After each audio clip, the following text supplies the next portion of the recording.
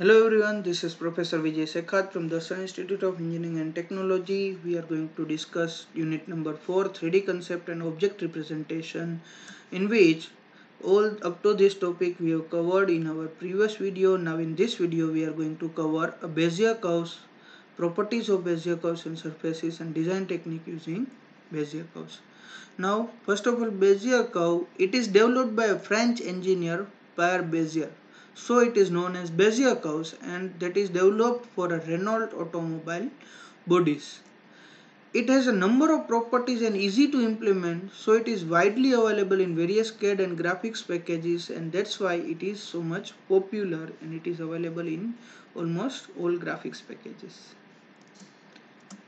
A Bezier curve section can be fitted to any number of control points. That means we can draw a Bezier curve with three control points we can draw a Bezier curve with the four control points also. We can draw a Bezier curve with the five control points also and so on.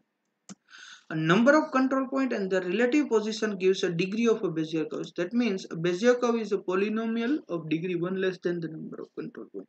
Here this is a 3 control point Bezier curve. So degree of that particular uh, Bezier curve will be 2 here this is a 4 control point Bezier curve so 4 minus 1 is 3 and similarly here degree of this will be 4 with this interpolation spline a Bezier curve can be specified with the boundary condition or blending function. But a most convenient method is to specify a Bezier curve with the blending function.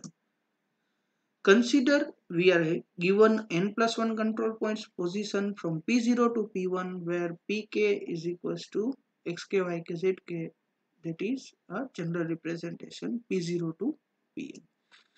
This is blended to gives a position vector p of u which gives a path of approximate Bezier curve that is p of u is equals to k is equals to 0 to n pk into Bezier of k comma n of u where Bezier of k comma n of u is a Bezier blending function where u varies from 0 to 1 and that Bezier blending function can be calculated by c n k into u raised to power k into 1 minus u raised to power n raised to power n minus k where c and k is a combination which we, we was studied during a school days and that can be calculated by C n k is equals to n factorial upon k factorial into n minus k factorial.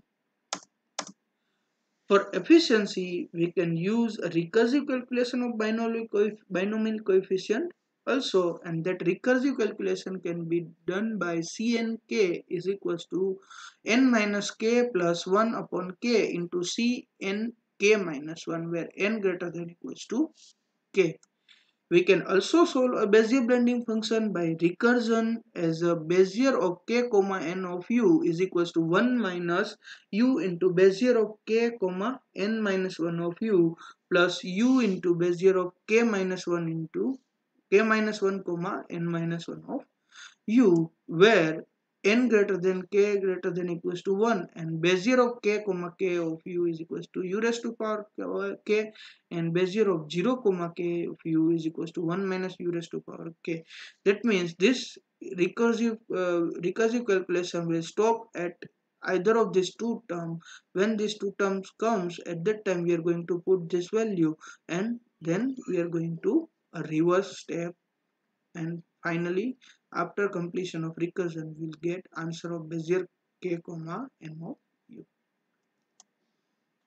Now, a parametric equation for a vector equation R vector, from vector, vector equation is generalized one and parametric equation that means we are going to uh, separate x, y and z component and it can be given by x of u is equals to k is equals to 0 to n xk into Bezier of k comma n of u this is Bezier blending function and this is a particular x value of that particular point that is pk and similarly for y and z component. Now next topic is properties of Bezier curve. Bezier curves have several properties. Out of these some are first one it always passes through first control point. That is p dash p of 0 is equals to P0. That means it always start from first control point. Second, that is, it always passes through last control point. So that means a Bezier curve section will always end, that is P of 1 will always give me a Pn. Always end at a last control point.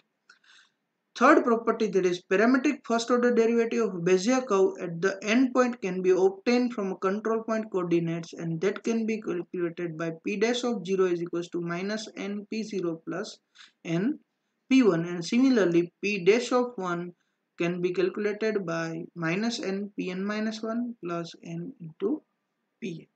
That means a first order derivative we can easily calculate from control point itself.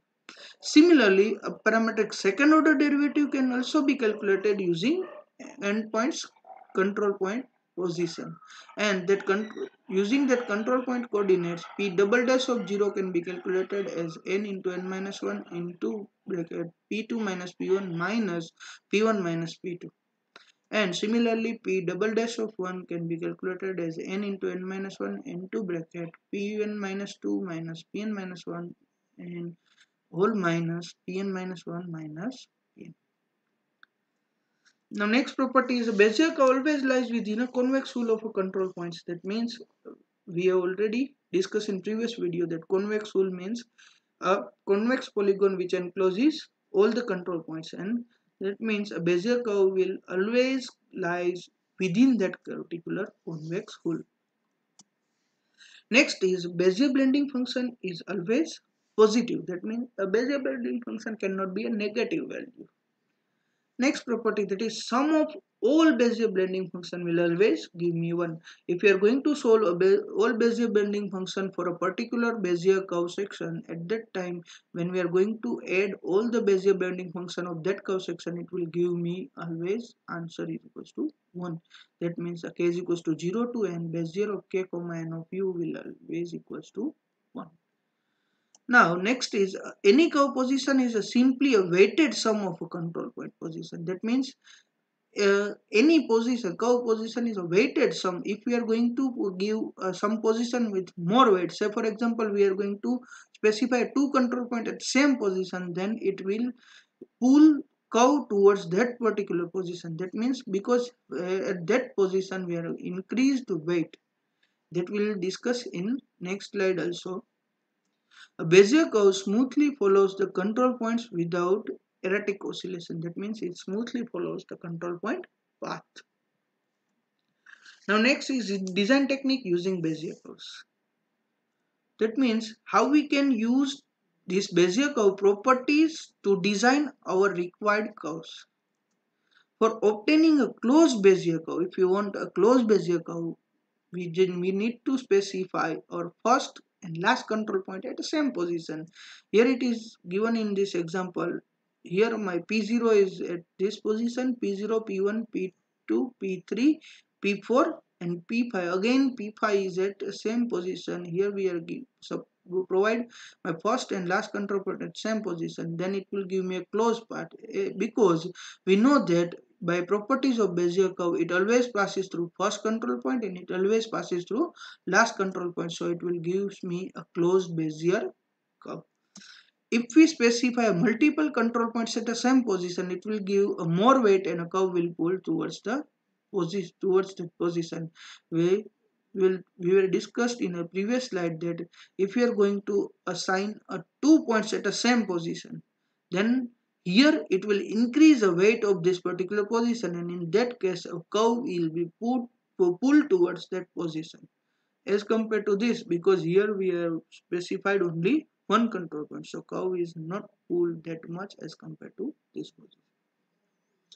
Next, a Bezier curve can be fitted for any number of control points but it requires a higher order polynomial calculation. That means a Bezier curve can be fitted we can draw a Bezier curve with uh, any number of control point. But when we are going to increase the number of control point at the same time it will going to increase a polynomial degree.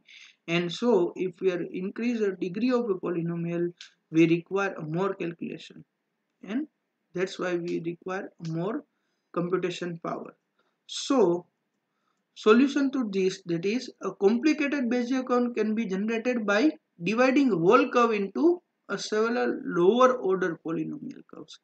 We are generate a complete complicated curve with a small curve sections part part of that particular complicated curve that is small curve section and that is of lower order Bezier curves. So we can get a better control over a shape of a small region and also it will gives me one more advantage and that is if we are designed that whole parts with the small small Bezier curves then we can control that particular small portion also and that will not going to affect my second curve section or second part of that my complicated Bezier curve.